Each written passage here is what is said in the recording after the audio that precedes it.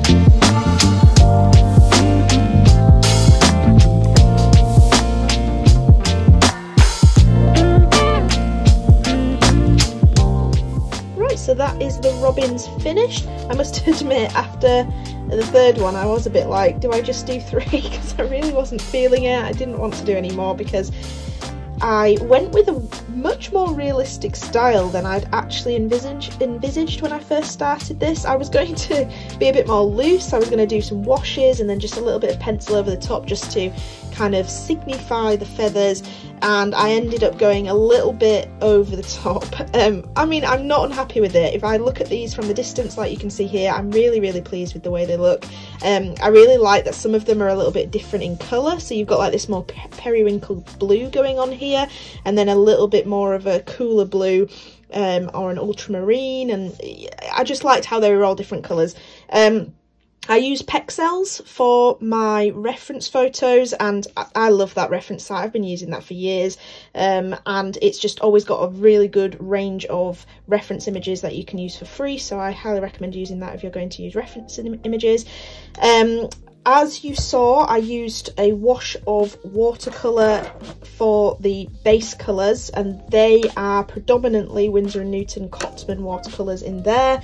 And then I went over with my Arteza um, pencil, coloured pencils, which um, worked really well. They laid over the, the watercolours really well and added a lot more depth to these.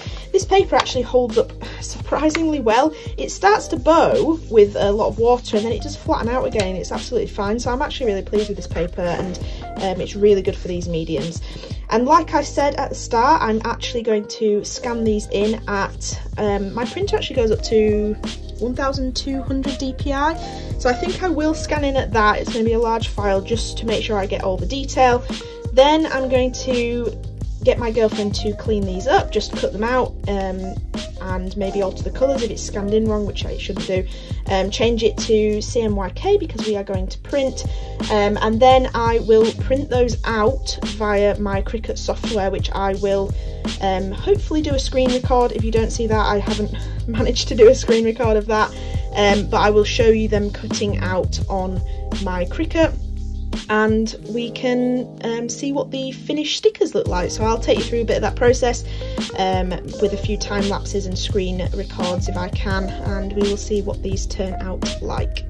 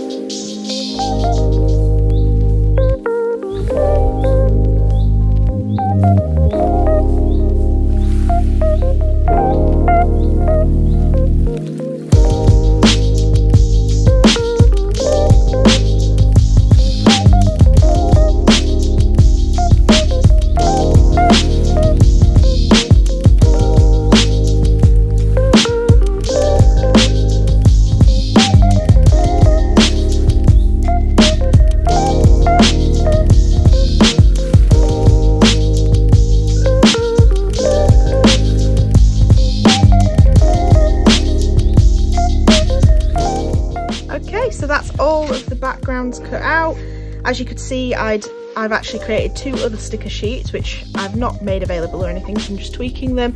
Um, so that was really easy to just change this to look how I want it to look for this particular sticker sheet which is good.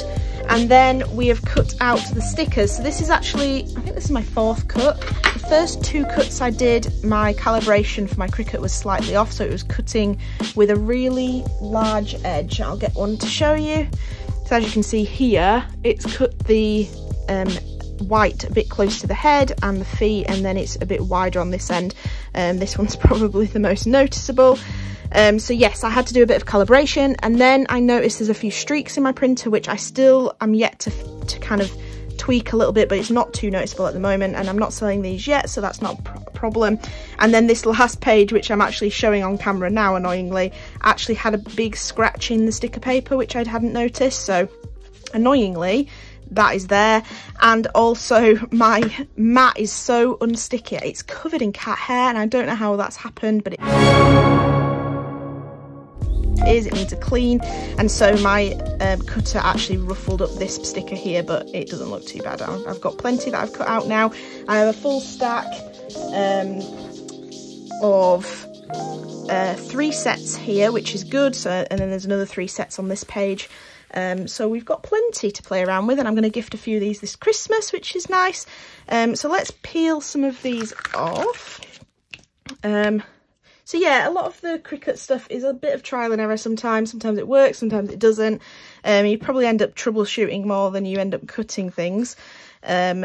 But that's fine. I've done this on glossy glossy sticker paper which I got from online labels which I know a lot of sticker makers use for glossy paper because glossy is notorious for reflecting the um, the light that the Cricut uses to sense where it needs to cut and so um, people have found out that the online labels glossy paper is perfect. It doesn't reflect refract the light too much and so it allows it to print properly, um, which I've also found. Um, not that I've tr tried any others, but I kind of just went with what everyone said and it seems to work fine for me as well.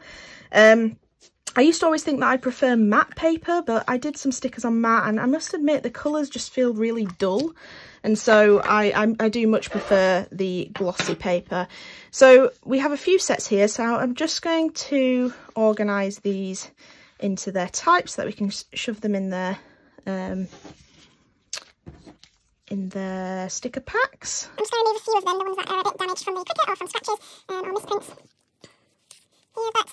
yeah, I think this went really well actually and all in all um, I did a little bit yesterday and I did most of it today but I think I could have done it all in one day. So all in all I, I basically designed painted um, and then my girlfriend cleaned it up because she she's way better at Photoshop than me and it would have taken me about four times as long to do it on my uh, Procreate app on my iPad. So I just asked if she would help me out but with that happening and cutting um, I've made an entire sticker sheet in one day basically. So I'm, I'm pretty pleased with that. I think it's good going and um, I think these are almost at this point to be able to sell them so um, this next year I'm hoping to um, put some of these up for sale. It's one of my goals, which you will see a 2022 goal video um, where I'm going to talk about what I want to do in 2022 to do with my art and making stickers and selling them is definitely one of the things. Um, like I mentioned, I have been making other sticker sheets. I'm not going to show you the actual stickers, but I've got a sticker pack called Fun Guys and then a Woodland Wonders pack. Um, and then this Rockin' Robins pack is going to add to that and I will do like a sticker launch maybe um, and I think I think I'm I'm really pleased with how these are going going um, are coming out they're really looking good um so this backing is I'm following the same vibe that I've gone for all of these Rockin' Robin sticker pack with my branding at the bottom and then I kind of do a bit of a faded image on the background to kind of match what the sticker is. So for this one, I kind of did a bit of a snowy background um, because I always associate, I know robins are around all year round, but I always associate robins with winter um, just because of the whole Christmas robin sort of vibe you get. So we'll put one of each of these stickers in here.